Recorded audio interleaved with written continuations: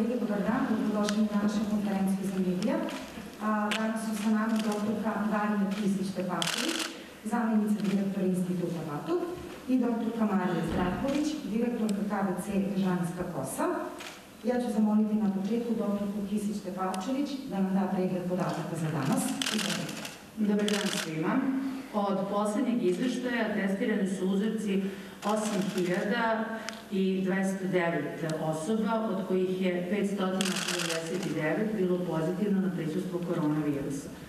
U ovom momentu se na respiratorima nalazi 24 pacijenta. Od početka epidemije u našoj zemlji u Republici Srbije je testirano ukupno 1 milion 271.455 osoba. Nažalost, u poslednje 24 časa još tri osobe su preminule kao posledice infekcije ovim virusom, što znači da je ukupan broj preminulih od početka epidemije 786. U ovom momentu ukupno je hospitalizovano 530 pacijenata. Takođe, u kliničko-bolničkom centru dr. Dragiša Mišović u ovom momentu hospitalizovano je desetero dece i šest majki, dok se na odeljenju ginekologije i akušerstva trenutno ne nalazi ni jedna trudnica ili porodilja koja je pozitivna na prisustvo koronavirusa. Kada je, u, kada je u pitanju distribucija laboratorijskih pozitivnih osoba na današnji dan, od ukupno 500 79 osoba, 286 iz područja grada Beograda, što čini više od 49%. Zatim, u Kragujevcu je registrovano 40 pozitivnih osoba, što je oko 7% svih obolih na današnji dan, u Novom Sadu 18, Šabac 17, Prepolje 16, Trstenik 15, Valjevo 14, Niš 13, Bor 11. Ostali su gradovi imali manje od 10 registrovanih slučajeva. Takođe, pripremili smo vam i ukupan broj pozitivnih po gradovima u poslednjih nedelju dana. Znači, za nedelju dana u periodu od 17.10. do 23.10. imali smo ukupno 2396 laboratorijskih potvrđenih slučajeva bolesti, od čega je 1185, znači skoro 50% bilo sa područja našeg glavnog grada. Zatim Kragujevac 126, Valjevo 97, Novi Sad 76, Niš 54, Kraljevo 51, zatim Vranje 44, Prijepolje 39, Trstenik 37, Šabac 33, Aleksandrovac 32, Loznica 29, Kruševac 26, Bor 24, Prokuplje 23. Znači, ostali su imali manje brojeve laboratorijski potvrđeni slučajeva, ali ono što je suština da se vidi da većina gradova i praktično sve opštine i svi okruzi na nivou naše zemlje su u prethodnih nedelji dana zabeležili laboratorijski potvrđene slučajeve bolesti, što znači da praktično potencijalne nosioce infekcije imamo širom naše zemlje. Ukoliko vidimo ukupan broj laboratorijski potvrđenih slučajeva i broj hospitalizacija je otprilike 15% od ukupno laboratorijski potvrđenih svih, svih slučajeva. Znači, s obzirom da znamo da se u ovom momentu hospitalizuju samo srednje teške i teške pneumonije, znači u ukupnoj strukturi svih potvrđenih, otprilike u ovom momentu oko 15% oni koji zahtevaju hospitalizaciju. Takođe, kada gledamo analizu svih osoba kod koji je potvrđeno prisustvo ovoga virusa u odnosu na uzrasne grupe, možemo da vidimo da praktično prethodnih nedelja je oko 85% svih potvrđenih slučajeva bilo u uzrasnoj grupi do 60 godina. To su bili osnovni e, podaci koji ukazuju na aktualnu epidemiološku situaciju COVID-19 u našoj zemlji. Hvala doktorki Kisić-Tepačević. Molim sada doktorku Mariju Zdravković e, da nas upozna sa aktualnom situacijom u KBC Dežanska Kosa. Izvolite. Dobar dan, poštovani svima. Trenutno u bolnici imamo 155 pacijenata na današnji dan. Najveći broj njih ima srednje tešku kliničku sliku i dobro se oporavlja. Danas smo imali i 12 otpusta. Volim da kažem, vrlo smo srećni, danas smo otpustili pacijenta koji je provao 41 dan na respiratoru i uspeo da se izbori i oporovi i danas ode kući nakon prelažene korone. E, što se tiče intenzivne nege, naše intenzivne nege trenutno imamo 14 pacijenata, od toga je 6 na respiratorima. To bi bila ukratko situacija. Pacijenti su uglavnom dobro stabilni, pokriveni terapijom i nadamo se da ih izlečimo, oporavimo i da idu kući. Hvala vam, Zdravković. Kolege, možemo da počnemo sa pitanjima. A, RTS, izvolite Ana. Dobar dan, Ana Stavenković, RTS. Ako možemo da čujemo koja, rekli ste u kojoj populaciji je najčešće prisutan virus, odnosno gde su novo zaraženi, koje su trenutno najrizičnije grupe, odnosno koje ponašanje najrizičnije ide vikend pred nama, znamo kako je bilo prethodnih i ako može da se kaže negde struka saopštava da sada ima najviše asimptomatskih slučajeva na sreću prijem u bolnicama nije mnogo veliki, ali opet negde za 200 veći u odnosu na, na prethodnu nedelju. Kako da se ponašaju oni koji ne znaju da nose virus, a ispostavi se da su asimptomatski i ugrožavaju druge pacijente, da su one preventivne mere na koje su upozorili, možda može još nešto da se, da se uradi. Hvala. Pa praktično od samog početka to su neke informacije koje su do danas a, a, ostale nepromenjene. Znači, znamo da a, u najvećem broju slučajeva a, ovaj virus a, ima ili blage oblike kliničkog ispoljavanja ili čak je i asimptomatske oblike, tako da se procenjuje na, u čitavom svetu da na jednu osobu kod koje je laboratorijski potvrđeno prisustvo virusa ide 5 do 10 osoba koje u sebi nose virus, a da i ne znaju. Zbog toga se u čitavom svetu propagira široka primjena ovih opštih preventivnih mera. To znači da svi treba i mora da se ponašamo kao da smo potencijalni nosioci infekcije. Što se tiče rizičnih grupa, one rizične grupe koje imaju najveći rizik da dođe do komplikacija ukoliko se inficiraju, to su one grupe koje smo stalno spominjali, praktično starije osobe i osobe sa različnim kroničnim uvoljenjima i imunodeficijentnim stanjima.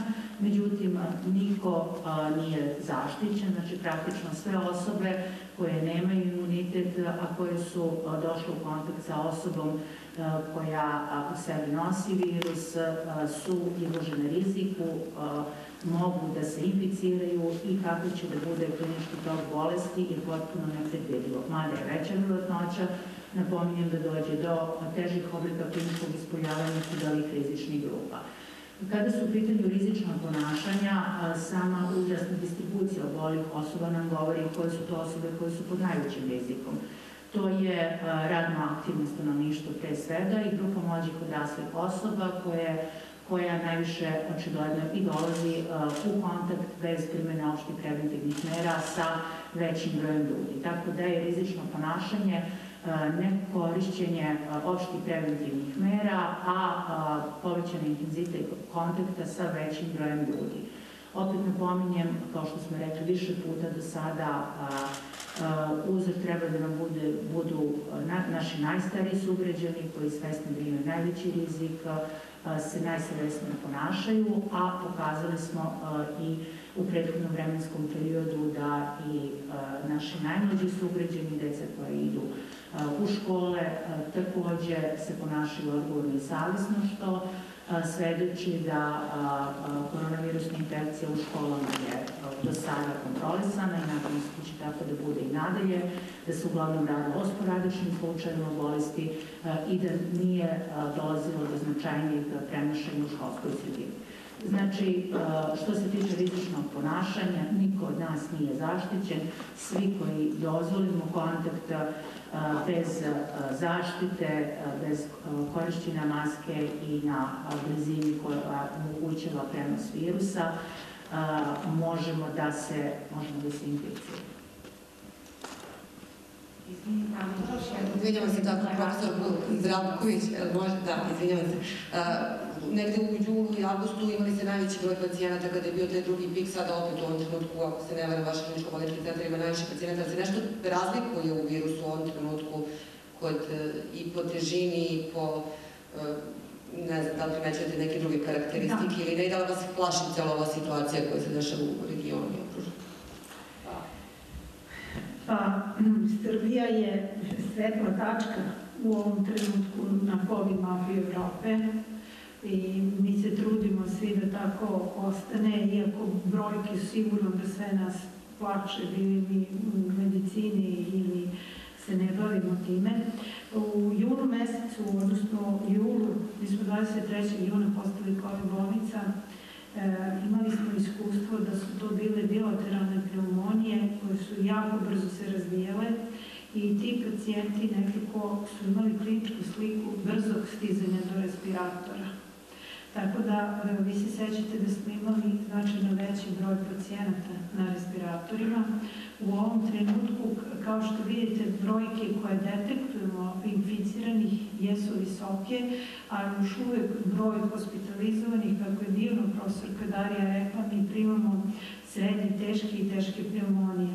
Dakle, za sada, u ovom trenutku, a ne znamo kako će biti, pošto je pik unazad 5 dana, a mi znamo da je obično najkritičniji 7. 8. dan, Dakle, ne znamo da li će biti porast e, broja tih težih pacijenata, ali za sada nekako ono što je ohrabrujuće, možda ima manje tih fulminantnih slučajeva, brzih, koji slabo reaguju na terapiju. Kada su u pitanju popunjenost bolničkog e, kapaciteta, rekli smo da je u momentu ukupno hospitalizovano 530 pacijenata, od kojih je trećina u kliničko-bolničkom centru Dežanijska kosa. E, ono što je bitno e, istaći, znači da se budno prati popunjenost kapaciteta zdravstvenog sistema, da razmišljamo nekoliko koraka napred e, i šta, šta je značajno. Rekli smo da u posljednjih dana da od ukupnog broja laboratorijskih potvrđenih slučajeva oko 15% zahtjeva hospitalizaciju. Ako gledamo na dnevnom nivou, koliko je otpušteno iz bolnice, koliko je hospitalizovano, e, svaki dan smo otprilike e, u pulsu između 20 i 40 bolničkih kreveta. Znači, svaki dan u posljednjih desetak dana više pacijenata je primljeno nego što je otpušteno iz bolnice. Da je to nešto o čemu posebno se, se vodi računa, taj popunjenost kapaciteta zdravstvenog sistema, jer apsolutni je prioritet da, da svaki naš građanin u svakom momentu ima dostupnu zdravstvenu službu kada je u pitanju COVID-19, a isto tako se razmišlja naravno i o svim drugim našim građanima koji imaju neko drugo oboljenje. Hvala. Izvolite, Tanja i Vladan, izvolite. Dobar dan, Mladen Salatović, jedna televizija. Pitanje za dr. Kisić Tepavčević. Zašto, se u, zašto je u martu uvedeno vanredno stanje i ograničavanje kretanja kada smo imali oko 300 novih slučajeva na dnevnom nivou? Zašto je u julu najavljeno pa se od njega odustalo? Isto smo imali slične brojke, a danas kad imamo, možemo slobodno da kažemo, crni rekord, se o tome ne razmišlja. Dakle, ne pozivam na ograničavanje kretanja, nego samo da nam objasnite koja je razlika između te situacije tada i ove danas. I još jedno pitanje, zbog čega se podaci o dnevnom broju novih slučajeva zaraze po gradovima ne objavljuju na dnevnom nivou? Neki mediji imaju te podatke, očigledno da ti, da, ti podaci postoje. Šta je razlog toga? Hvala vam. Hvala, Mladene. Podaci o toj topografskoj distribuciji po gradima naravno da postoje i učinit ćemo ih naravno dostupnim da, da, da budu i na odgovarajućim portalima da možete da ih preuzmete. Što se tiče pitanja u vezi uvođenja određenih preventivnih mera, znači na samom početku čitav, čitav svet je bio prilično iznenađen intenzitetom aktivnosti ovoga virusa i praktično niko nije bio pripremljen za ovakvu vrstu bolesti koja se prilično fulminantno, znači prilično brzo širila. Tako da imajući u vidu, mi smo jedna od zemalja gde je na, u ovom delu Evrope među poslednjim ušao ovaj virus, tako da smo imali prilike da vidimo kako je bilo iskustva drugih zemalja i ono što nas je najviše plašilo jesu ta iskustva koje su u tom momentu bila u Italiji i Španiji, gde su kapaciteti zdravstvenog sistema u jednom momentu bili premali da prime sve pacijente kojima je pomoć bila, bila potrebna, a sigurno je najveća, najveća noćna mora svakog zdravstvenog radnika da ne može da ukaže pomoć pacijentu kojima je pomoć potrebna. A takve smo priče iz ovih delova sveta i iz ovih zemalja slušali svakodnevno. Takođe videli smo da je veliki problem bio u pre svega među najstarijom populacijom, pogotovo u staračkim domovima, gde je smrtnost i do danas ostala najveća.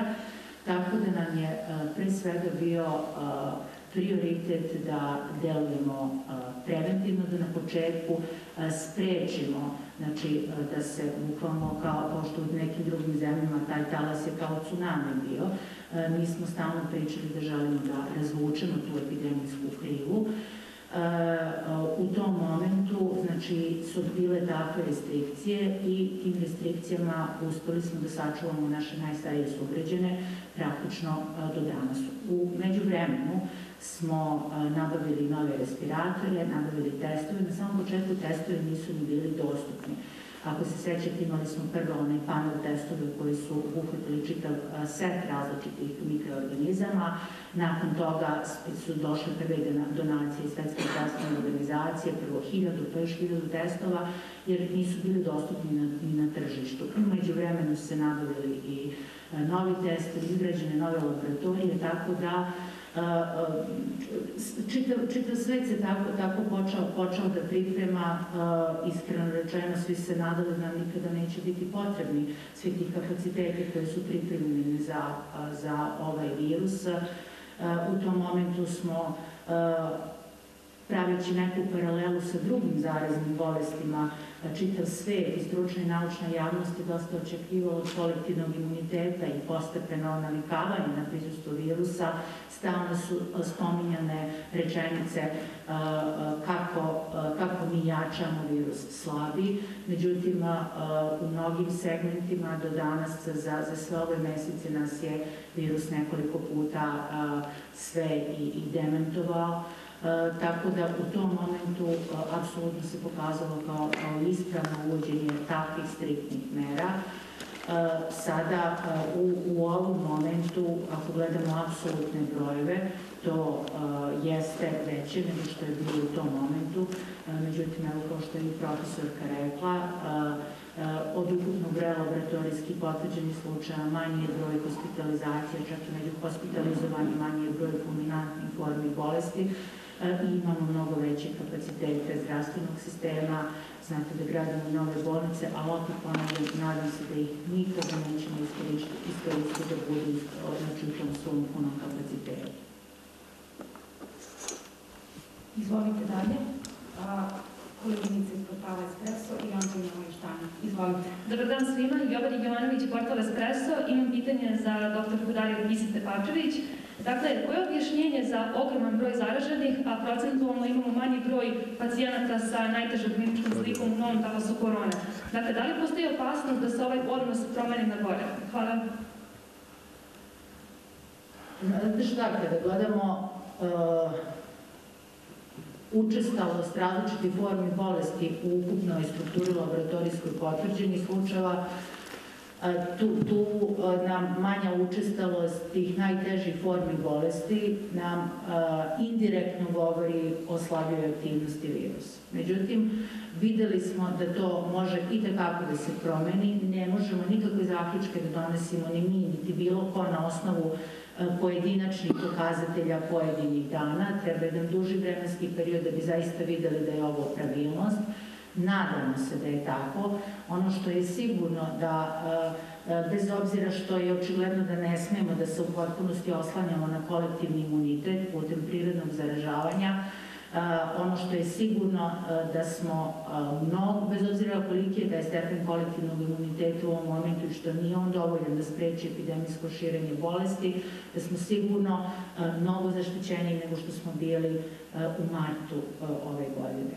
Tako da, ali, kažem vam, to jesu obećavajući pokazatelji, ali je prerano bilo što zaključivati na osnovu tih pojedinačnih broja. Imamo još jedno pitanje, agencija Tanut, izvolite. Imamo još dva. Izvolite. Molim vas, ako možete da precizirate. Dakle, povećan broj ljudi e, e, zaraženih, a manji broj ljudi u bolnici je posljedica e, asimptomatskih slučajeva i slabije, slabije slike, je li tako? Evo, još je ne, ono o čemu smo pričali jeste da je oko 15% hospitalizovanih. Od samog početka se taj broj kretao najviše do 20-25%, oni koji imaju teške do, srednje teške do teške forme bolesti. Međutim, u jednoj fazi, kad, pandemije u našoj zemlji, znate, pogotovo kada je otvoren sajam, da smo hospitalizovali sve, čak i asimptomatske nosioce. Sada se taj koncept promijenio, ne kod nas, nego i koncept u strane relevantnih zdravstvenih organizacija širom sveta i da smo prešli ponovo na samoizolaciju i kućnu izolaciju. Tako da jeste sada, opet napominjem, nešto manji procenat hospitalizacije, odnosno laboratorijski potvrđene slučajeva. Posebno ohrabruje ovo što, što je rekla koleginica Zdravković, znači da je manje i onih koji imaju te fulminantne forme bolesti, čak i ako imaju srednje tešku ili tešku pneumoniju. U ostalom možemo da vidimo i broj osoba na respiratoru svakog dana, koji, koji se je prilično stabilan poslednjih dana, čak i nedelja, bez obzira što, što imamo višestruki porast laboratorijskih potvrđenih slučaja. Molim vas još jedno konkretno pitanje. U narednom periodu nam dolaze neke mnogo važne utakmice.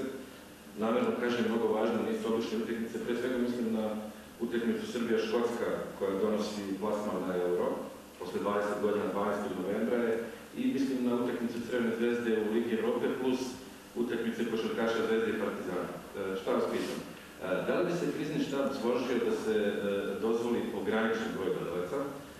Kad kažem ograničen, mislim na hiljadu, dve, u jednom, u jednom takvom ambijentu kao što je Stadi Rajko Mitić ili Pionir, 500 ili 1000 ljudi ne bi trebalo da, da utiče da to da se krše epidemiološke mere i pitao zbog toga što je takav princip već zaživeo i već neko vreme traje i u Hrvatskoj, u Italiji, u Španiji, u delovima Nemačke, u Litvaniji, u Ukrajini, u Rusiji.